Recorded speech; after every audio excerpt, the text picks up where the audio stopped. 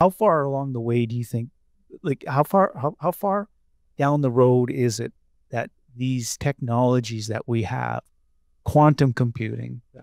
artificial intelligence, quantum sensors, um, uh, the whole realm of things, how, how far away are we from like legitimate, um, and, and I'll relate it specifically to, to health, um, to, to, to curing a disease. Because in my lifetime, in our lifetimes, we, we, you know, we've seen some, you know, the eradication of certain things, but we have not seen something as, as, as, you know, the, the like a cure Yeah. for I feel conservative saying this in terms of like timeline wise.